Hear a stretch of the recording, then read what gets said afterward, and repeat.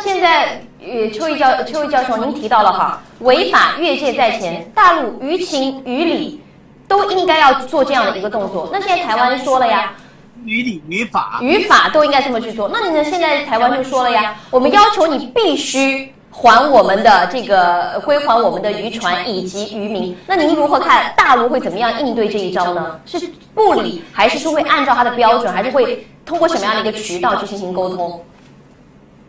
啊，如果以前呐遇到这样的事情，那笃定是由海基会跟海协会磋商，看怎么样善了这个事。善了，两岸都是中国人嘛，嗯，所以以前都是以以和为贵的方式处理。我过去在担任立委之前，我就是管农渔业的，所以非常清楚。以前就是用双方以和为贵的方式和平解决这个事情，可是现在不一样啊。赖清德不是讲吗？两岸两国不相隶属吗？你要搞台独啊，搞两国论啊，不相隶属啊。啊跟大陆又老死不相往来啊。最近还把大陆列为橙色警戒啊，对，叫台湾的游客别去大陆旅游，大陆好危险，大陆好坏。是个邪恶政权，就这样啊。好，所以现在根本是沟通无门。郑文灿担任董事长的海基会，现在完全没有功了。然后找了一堆废物的董事，根本跟大陆谈不上话。嗯，连问题都搞不清楚，你怎么去救人？说实话，如果今天台湾希望把这一艘澎湖渔船，能够船跟人都能够回来，至少一件事要做吧。针对二幺四，大陆渔船被恶性撞翻，要道歉吧，要惩处凶犯吧，然后邀请大陆两位死亡渔民的家属来共同参与尸体的尸检吧。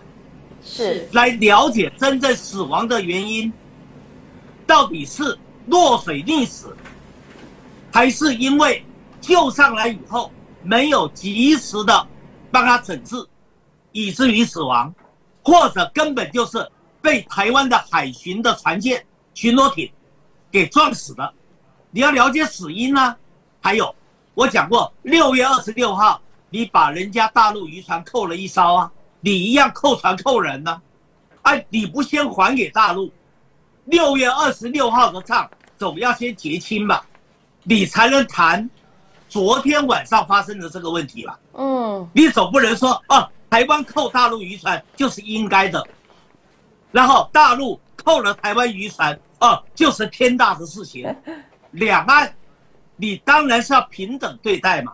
台湾不是一直谈对等吗？嗯，要对等就真的对等，你不能每次都叫大陆要让台湾，哦，甚至以前连赵少康都在讲，哦，大陆大，台湾小，大的要让小的，你没有这个道理嘛？两岸要谈渔事纠纷，渔事纠纷很多的，是，你总需要我讲的合情、合理、合法，而且是个对等互惠的原则，以前就是这个样子啊。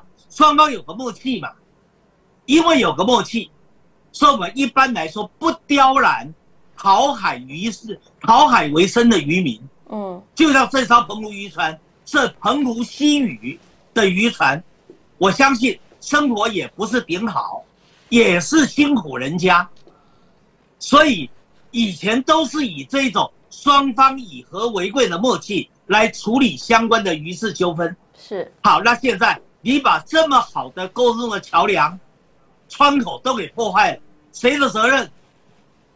不是你赖清德的责任吗？不是你民进党政府的责任吗？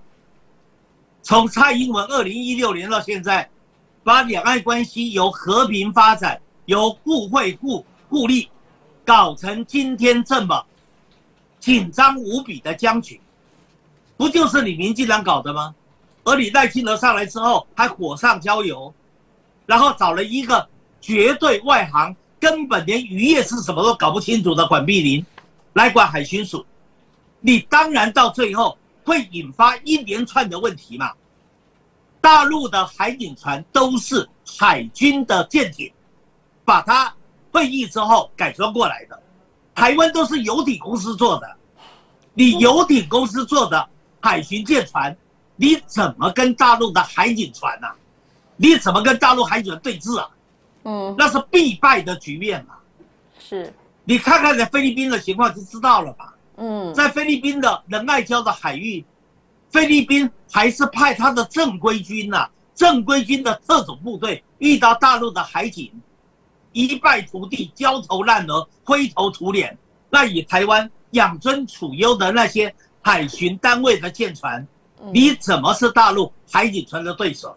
你既不是人家对手，你又要在里面挑事，又在里面去制造很多无谓的纠纷，你不是找死吗？